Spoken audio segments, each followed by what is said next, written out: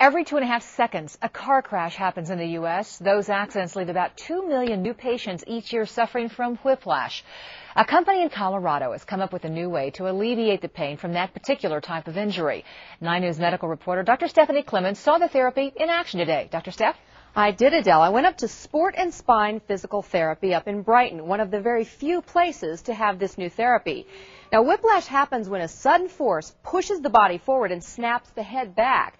More than half of all car accidents involve rear-end collisions, leaving millions with much, much more than a simple pain in the neck.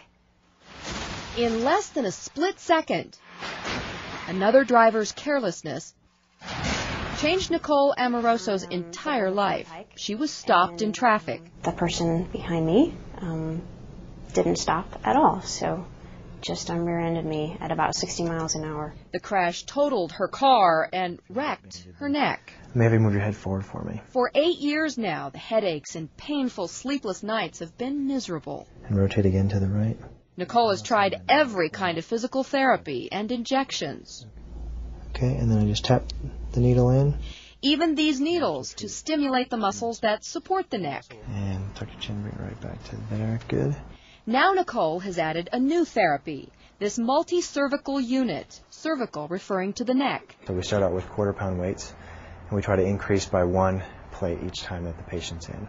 Weights smaller than conventional gym equipment precisely allow Nicole to give her injured muscles just the workout they need. Some of the things we look for is how she's moving. Besides moving backwards and forwards, the multi-cervical unit works the muscles that turn heads too. 11 neck muscles in all. I feel okay. Sensor pads tell the computer how strong she is and how much stronger she can get. This is exactly what we want to see. This is objective data. It's not the patient telling us she's better.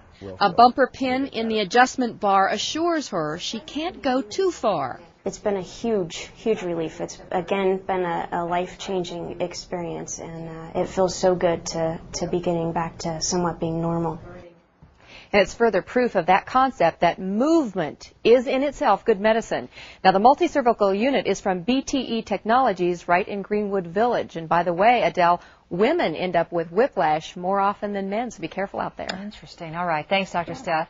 The U.S. Department of Transportation says whiplash injuries cost the country about $5.5 billion every year.